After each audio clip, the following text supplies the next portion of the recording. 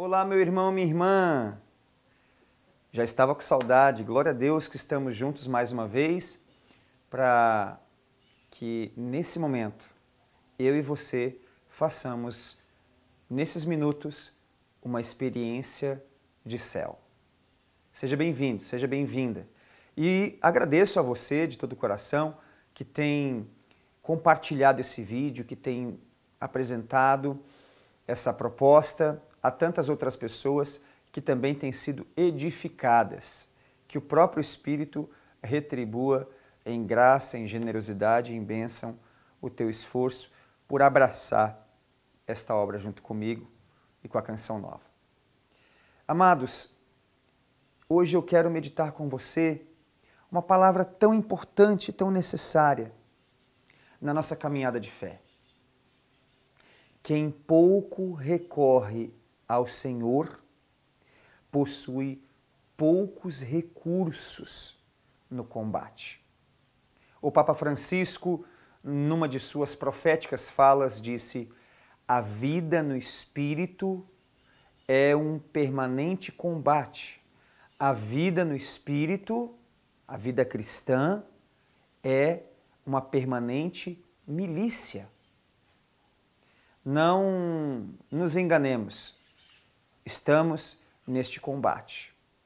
Mesmo você não assumindo a necessidade do combate, você está nele, você está diretamente envolvido nele, mesmo que você não tenha assumido.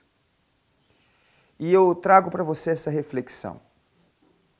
Para cada tempestade que o visita, já está separado um tempo de bonança. Então, Invista louvor na tempestade, pelo tempo da bonança. Isso se chama confiança inabalável no Senhor. Nós vamos entendendo que esse combate que nos cerca traz também da parte do Espírito os recursos necessários para vencermos este combate. Mas muitas vezes vamos ser bem sinceros. Nós vamos tentando resolver os dilemas da nossa história, vamos tentando resolver os combates que fazem parte da nossa vida com os nossos argumentos humanos.